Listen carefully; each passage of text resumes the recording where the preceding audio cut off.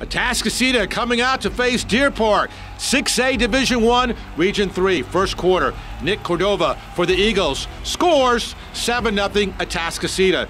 Deer Park comes right back.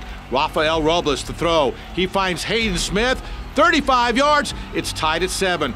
But it was all Atascocita after that.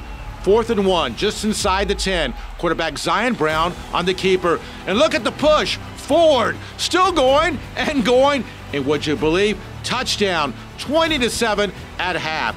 Third quarter now on the punt return for Atascocita. Braylon Conley, right side, looks like he's cornered right there. No, he escapes and gets away for the 48 yard touchdown return. Eagles win 48 to 7. They will next face Clear Springs in round two of the 6A D1 playoffs. Thank you.